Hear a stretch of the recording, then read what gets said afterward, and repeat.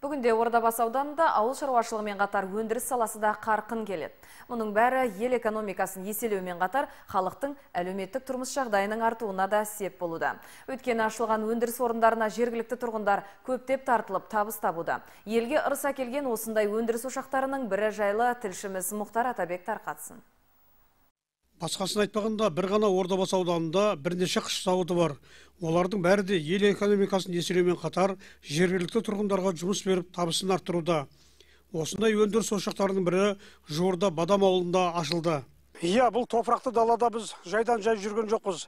Өйткені мұнда бадам қыш зауыты орналасқан.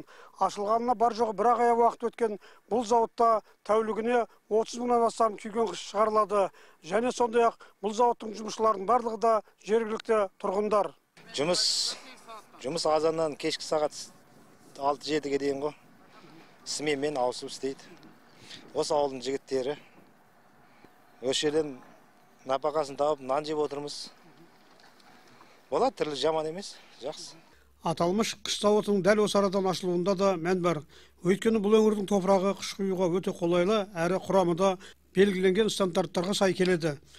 Мұндай кәсіпті дамытуға аудандық кәсіпкерлерге қызмет көрсету орталығында өзіндік үлесі бар. Жалпы кәсіпкерлерге қызмет көрсету кәсіпкерлерге қызмет көрсету орталығының басты міндеті бизнес жоспарларды құру бір терезе қағидатымен. Одан кейін рұқсат құжаттамаларды рәсімдеу. Рұқсат құжаттар құжаттарды рәсімдеу мақсатында осы алдаңызда көріп отырғандай алия трейд компаниясын нысаналы мақсатынан бастап мемлекеттік тіркеуден кейін дейінгі жұмыстарын кәсіпкерлерге қызмет көрсету орталығы арқылы осындай жұмыстар атқарылды. Зауыттың қазіргі қуаттылығы тәулігіне отыз мың шығару. Өндіріс басшыларының айтуынша алдағы күндері тағы бір пеш іске қосылмақ. Ол кезде жұмысшылар саны жүзге дейін артады деген жоспар бар. Шығып жатқан өнімдерге тапсырыс қазіргі таңда түркістан облысында жетісай қаласында сырдария арыс жамбыл қалаларына өте көп тапсырыстарды уақытылы жеткізіп жатырмыз. Қазіргі таңда үш үлкен компаниямен жұмыс істеп жатырмыз.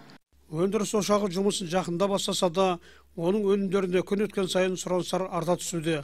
Алдағы уақытта бұл зауыттан тәулігіне 500 мың шығару жоспары бар. Ордабасы ауданынан мұхтар атабек абай құралбаев гүлмар жамолда дос жаңалықтар.